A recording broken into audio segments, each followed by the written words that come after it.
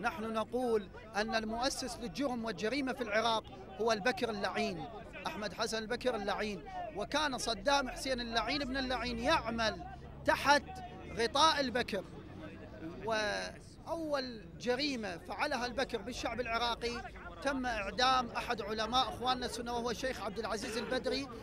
ثم عمل على تسفير نخبة من علماء العراق وعلى رأسهم السيد مهدي الحكيم.